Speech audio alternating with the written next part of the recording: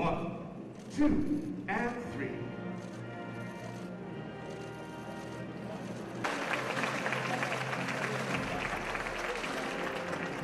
Thank you very much.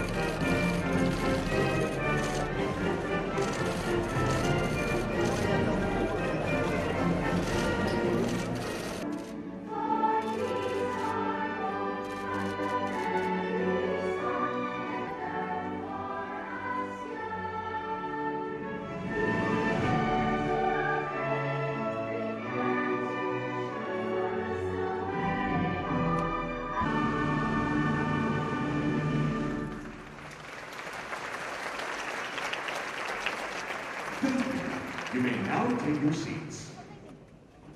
We now present the Philippine Chairmanship